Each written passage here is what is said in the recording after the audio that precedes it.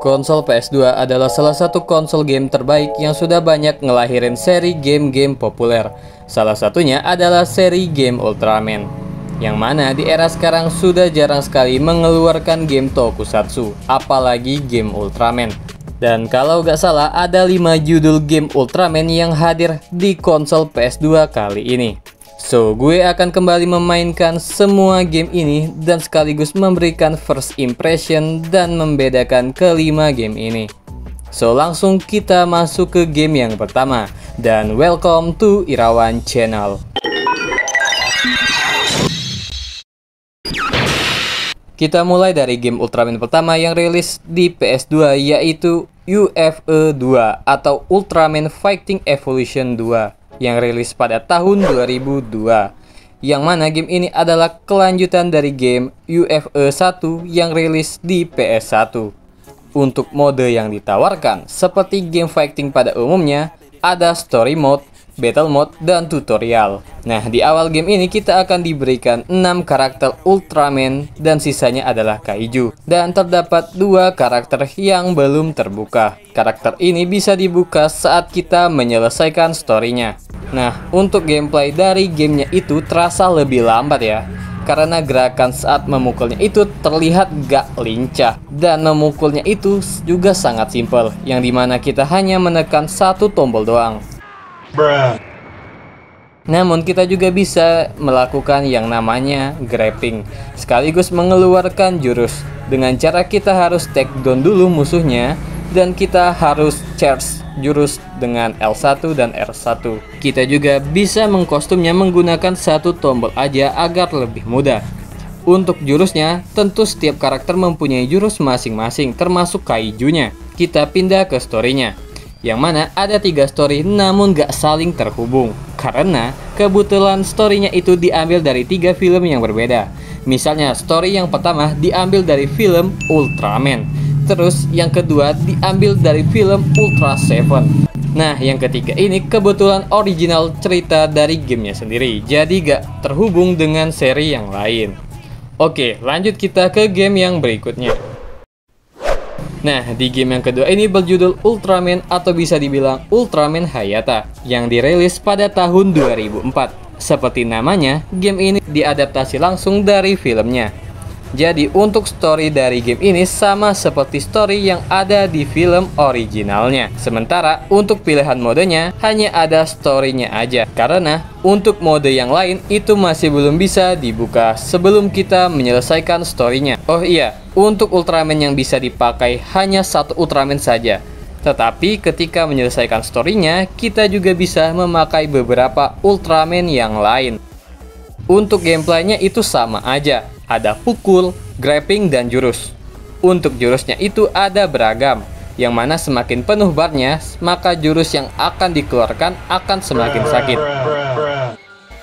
Dan untuk mengisi bar ini, dengan memukul monster. Tidak bisa mengisi sendiri seperti game yang sebelumnya. Nah, yang menyusahkan itu hanya cara jalannya aja karena hanya bisa memakai analog jadi di awal permainan gue itu hanya bisa guling-guling gak jelas. Tetapi lama kelamaan juga akan terbiasa.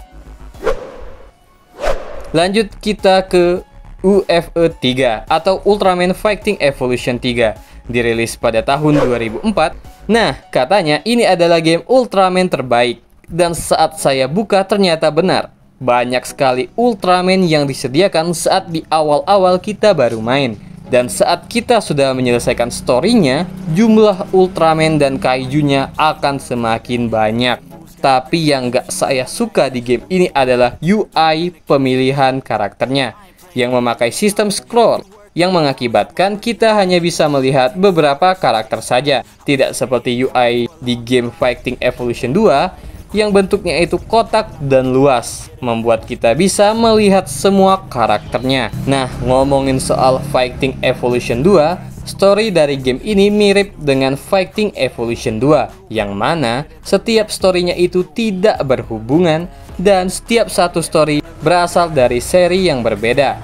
Seperti story Ultraman Cosmos yang sama dengan movie Ultraman Cosmos versus Ultraman Justice The Final Battle Walaupun judulnya Ultraman Fighting Evolution 3, tetapi storynya gak ada hubungan sama sekali dengan game sebelumnya. Nah, kita pindah ke bagian gameplay. Masih sama dengan game Fighting Evolution 2 tadi, hanya saja sedikit lebih lincah.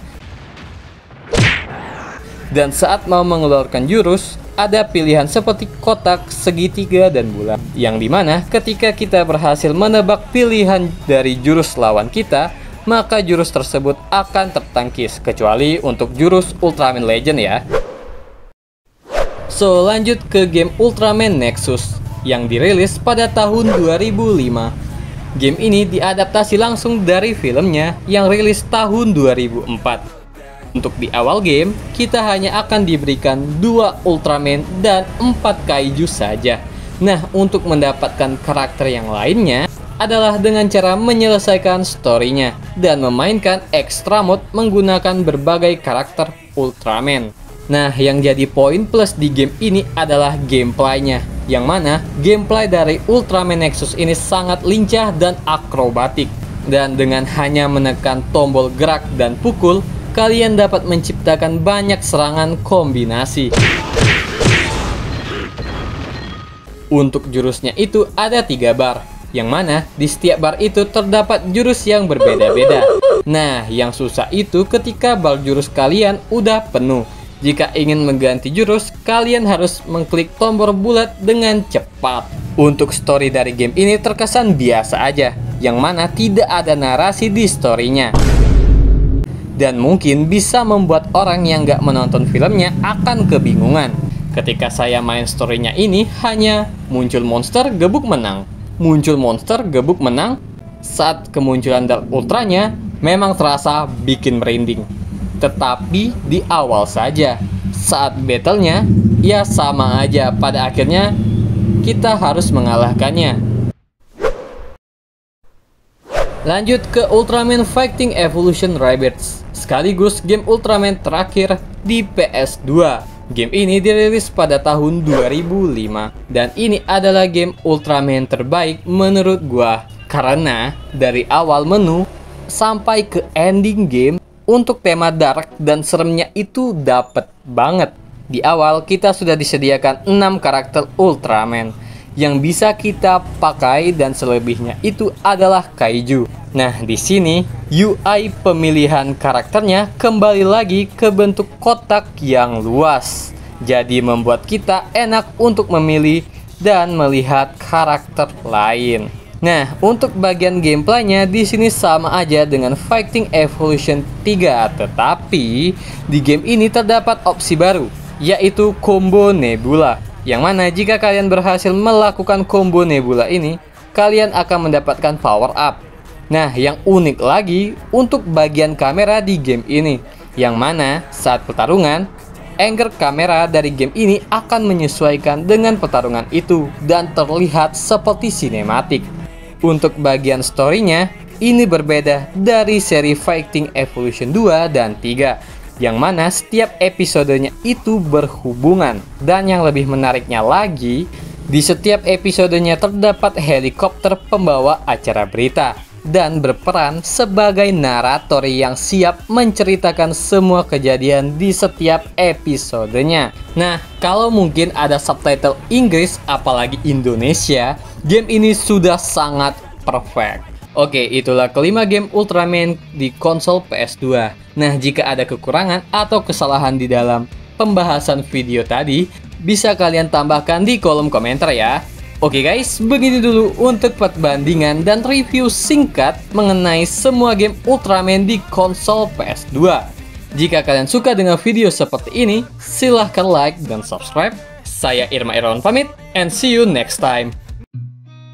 I've seen a lot of change, been through a lot of pain. Some things are not the same as they were a year